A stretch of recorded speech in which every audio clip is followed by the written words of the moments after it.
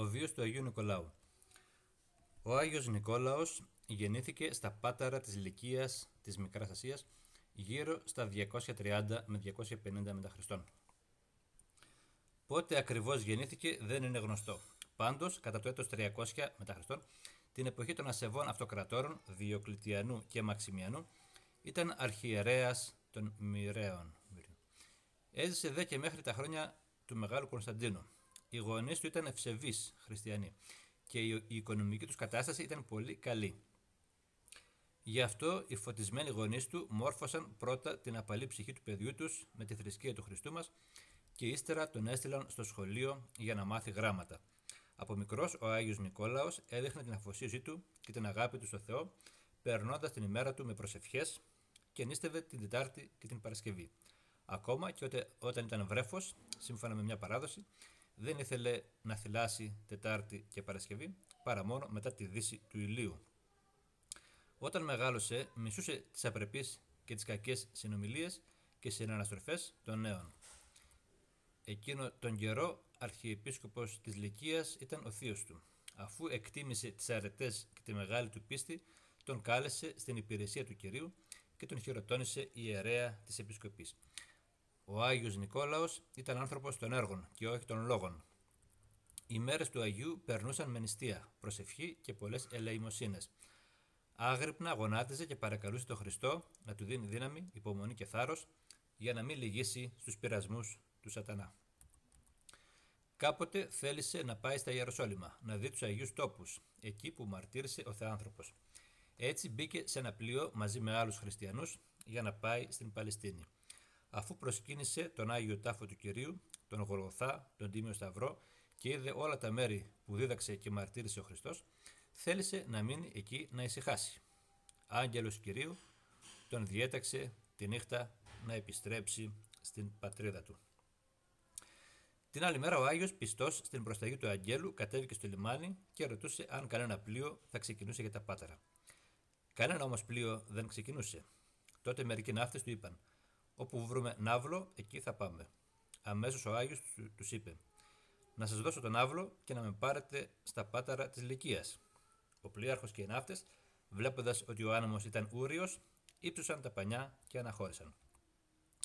Θέλοντας να περάσουν πρώτα από την πατρίδα τους, έστρεψαν το πλοίο προς την κατεύθυνσή της. Αλλά ο Θεός, για να μην λυπεί στον Άγιο, σήκωσε μεγάλη τρικυμία, ώστε έσπασε το πιδάλιο τη μόνη του πλοίου και οι ναύτες απελπιστέντες ανέμεναν το θάνατο. Ο Άγιος όμως, δια της προσευχής του, καταπράγει τη θάλασσα. Ο πλοίαρχος, μαζί με τους ναύτες του, είδαν ότι έφτασαν στα πάτερα και αφού έπεσαν στα πόδια του Αγίου, τους ζητούσαν συγχώρεση.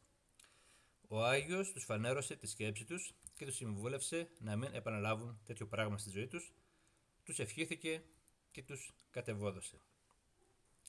Επιτέλους, ύστερα από μια μεγάλη θαλαστοραχή, ο Άγιος επέστρεψε από τα Ιεροσόλυμα στα Πάτρα.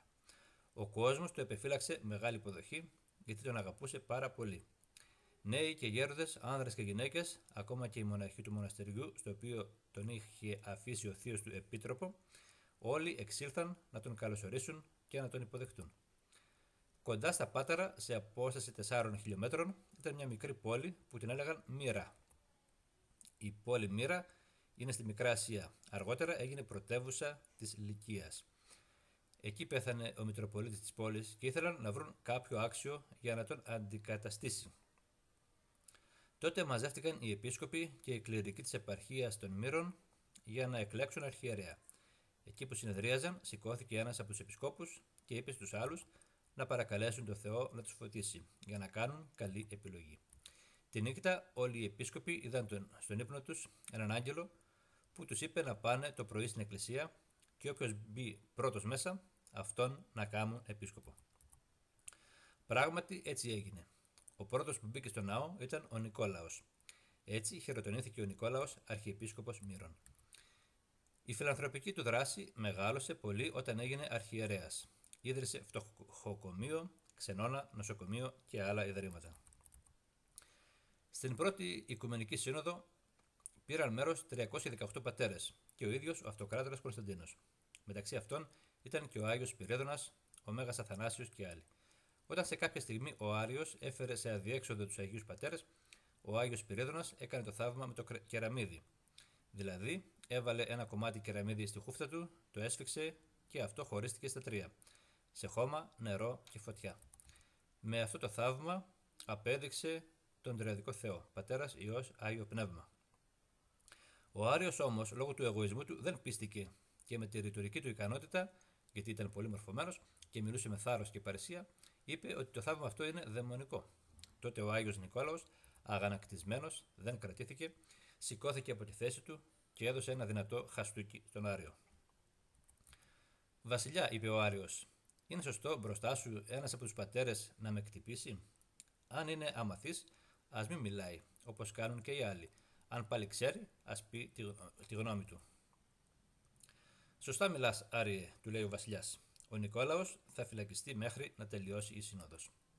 Φυλακίστηκε γιατί δεν επιτρεπόταν κανείς να κτυπήσει κάποιο μπροστά στα μάτια του αυτοκράτορα και η ποινή ήταν ο θάνατος. Ο αυτοκράτορας αμέσως έδωσε εντολή να πιάσουν τον επίσκοπο πατάρων Νικόλαο. Τον έδεσαν και τον έβαλαν φυλακή γιατί τον σεβόταν και δεν ήθελε το θάνατό του. Τη νύχτα παρουσιάστηκε μέσα σε άσπρο σύννεφο ο Χριστός και η Παναγία και τον ρώτησαν γιατί τον έβαλαν φυλακή. Για τη δική σας αγάπη και πίστη μου, απάντησε ο Νικόλαος. Τότε ο Χριστός τον ελευθέρωσε από τα δεσμά και του έδωσε ένα Ευαγγέλιο και η Παναγία μας το ομοφόριο του Αρχιερέα. Από τότε καθιερώθηκε όλοι οι αρχιερείς να φορούν ομοφόριο. Την άλλη μέρα, όταν του πήγαν φαγητό και νερό στη φυλακή, τον είδαν να διαβάζει το Ευαγγέλιο και τους είπε την οπτασία που είδε και τι τους συνέβηκε. Όλοι δόξασαν το Θεό.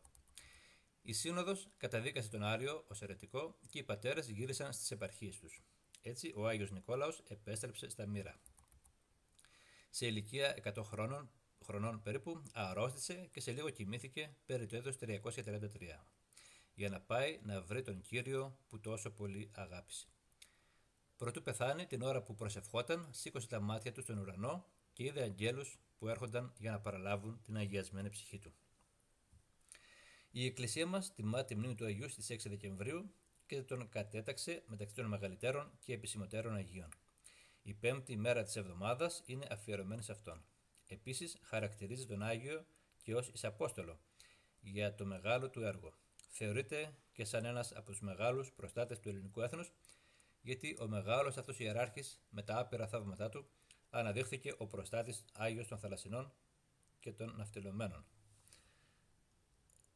Αναβάσεις τελείμπλοκου Της του Αγίου Νικολάου Πρεσβείας, Χριστιαθέως Όσων.